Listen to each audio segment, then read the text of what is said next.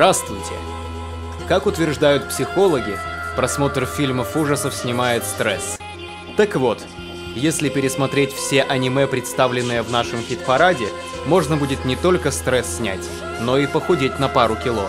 Правда, придется потом долго отстирывать одежду. Мы начинаем хит-парад ТОП-10 мистических ужастиков. Всем слабонервным, дерганым и просто чувствительным личностям к просмотру не рекомендуется. Однако, как показывает практика, подобные предупреждения мало кого останавливают. Так что располагайтесь поудобнее и смотрите на ваших ненаглядных зомби, вампиров, призраков и прочую кровожадную нечисть, которая так и кишат аниме в нашем хит-параде. It's horror time. Десятое место получает «Школа мертвецов». За огромное скопление бродячей мертвечины, симпатичных девушек и смелых парней. Бедным японским школьникам приходится всеми правдами и неправдами сражаться против бесчисленных зомби, терять друзей, выяснять отношения и, конечно же, влюбляться. В общем, делать все, дабы зритель был прикован к экрану на время показа всего сериала. Многие, конечно, начнут говорить, что «Школа мертвецов» не сильно страшная, да и более на боевик смахивает. Но тогда ответьте на такой вопрос. Девятый номер груди у школьницы. Это ли не вселенский ужас? Снимала данный аниме-сериал и Авашку студия Madhouse, а режиссировал Араки Тецуро. Девятое место получает «Когда плачут цикады» за то, что является представителем классического кантри-хоррора в лучших его традициях. Тихая деревенька, новый житель, милашки-школьницы. Казалось бы, рай на земле. Но, увы и ах, все далеко не так. За фасадом безмятежной деревенской идиллии скрывается темная история зверских убийств и бесследных исчезновений, а под покровом благостной тиши действуют какие-то ужасные силы. Уже стало страшно? Нет? Ну тогда пересмотрите оба сезона и три овы.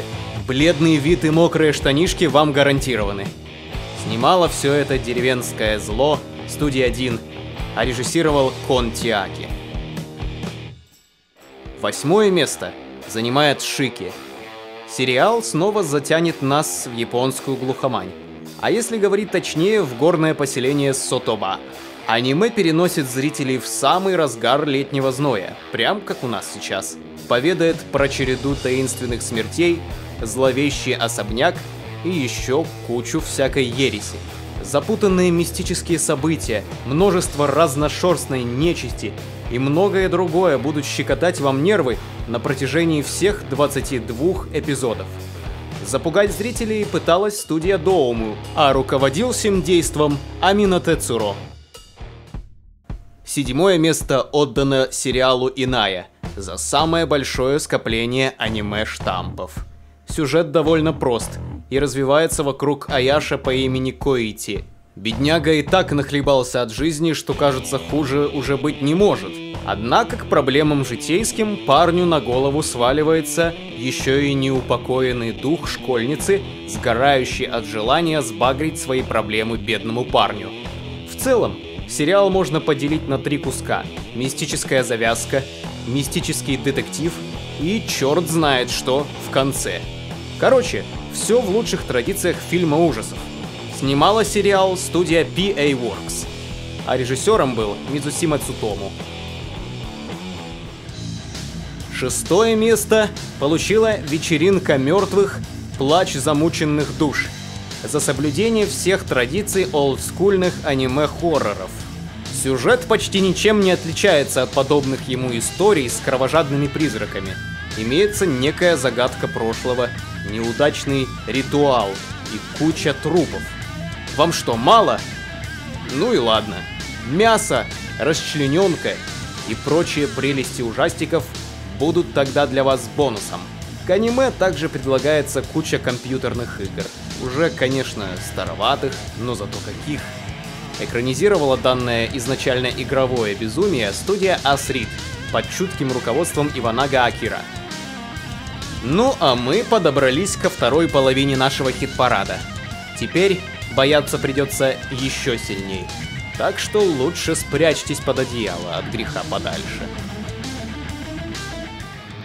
Пятое место «И дьявол может плакать» получает как лучшая хоррор-экранизация видеоигры.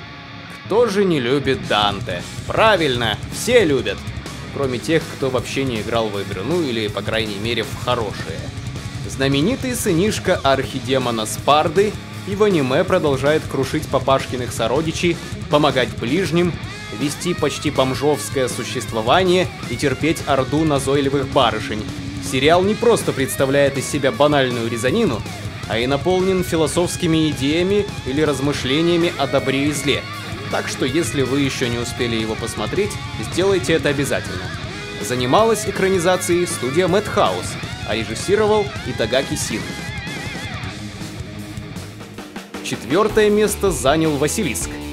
За попытку хоть как-то окунуть нас в историю Японии. Итак, что мы тут умеем?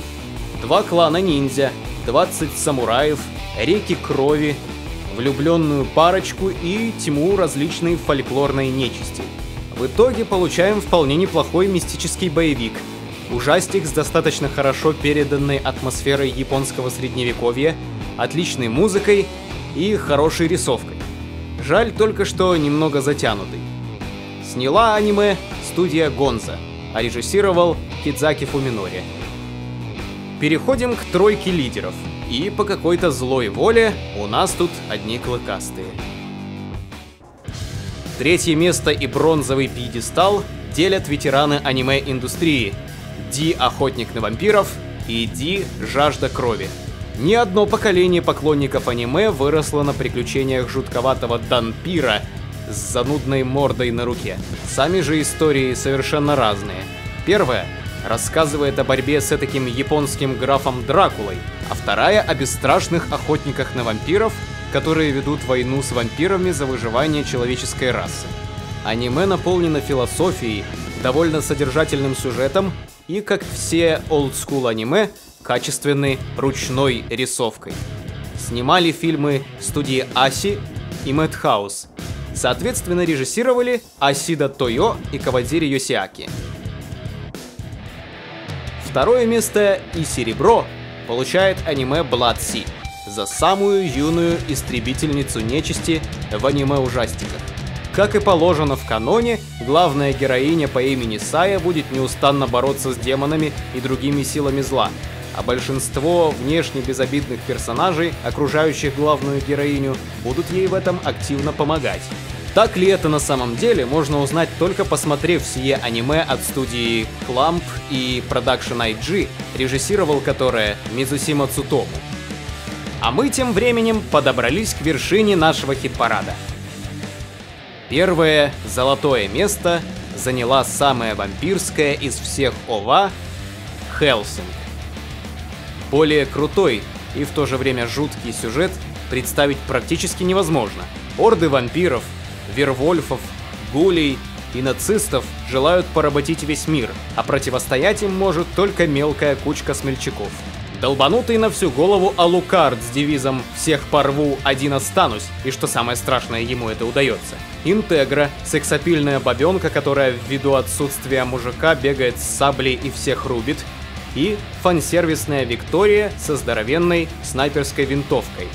Выдержанный стиль, наполненность действиями и четко выраженная сюжетная линия дает полное право называться лучшим мистическим ужасом топ-десятки. Вот и все. Подписывайтесь на наш канал, чтобы не пропустить следующий хит-парад. Оставляйте комментарии. Все аниме, перечисленные в рейтинге, вы сможете скачать на нашем трекере animania.com. А обзоры новинок сезона смотрите на канале Play. Все ссылки в описании. До новых встреч и приятных кошмариков!